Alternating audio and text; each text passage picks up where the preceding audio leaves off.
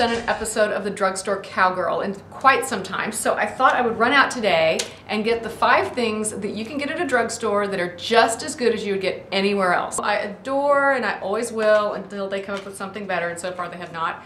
Um, L'Oreal Voluminous Mascara, it's the greatest, is still the ne plus ultra of mascaras. And I just get the Blackest Black, the regular, original, the only one that comes closer is that Jordana stuff, but it's so hard to find. It's half the price. It's really good, but it's so hard to find. The other thing that I still use year after year after year is the Milani.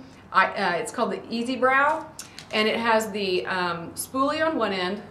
Let me open this up. Hold on.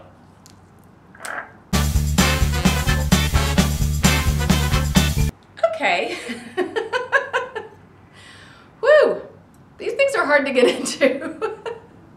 All right, the reason we like, uh, what was I saying, the Milani Easy Brow, the reason we like it is because it has the spoolie on one end, that's what those are called. Until a few years ago, I never knew that was called a spoolie. Anyway, that's to comb it through.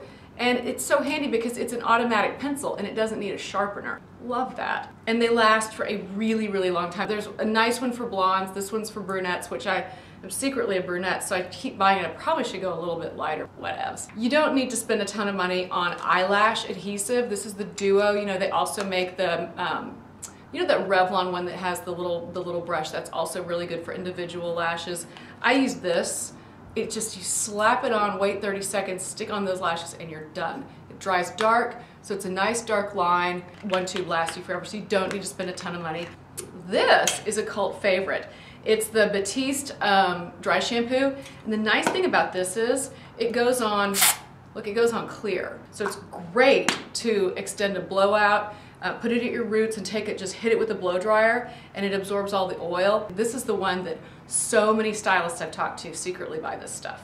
There's some much more expensive ones out there, but this is kind of a go-to secret. The final thing that I think is just the greatest, we've talked about this before, remember I did the review between this and that Clarisonic thing. The Clarisonic is really good, but it's super expensive. It's, it's $120, $150.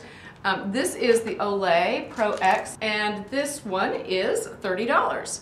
So the Clarisonic you have to put on a recharger and you have to kind of keep it on your counter. This is battery operated and so you can tuck it away, you can travel with it. It's I think a lot more convenient. Honestly, I think it does the same job. I know the Clarisonic has that magical sonic action that's supposed to do magical things to your face. I don't see it. I really don't. I think this thing is just as good. Comes like that. It even has a little batteries in it. And then you just pop the brush right on there. It's super easy. How convenient is that? And you just, that's just the on off switch and and you're all clean.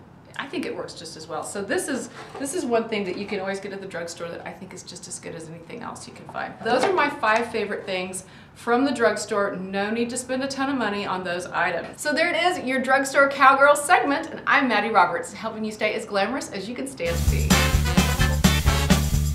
Setting a bad example by using my teeth. Whatevs.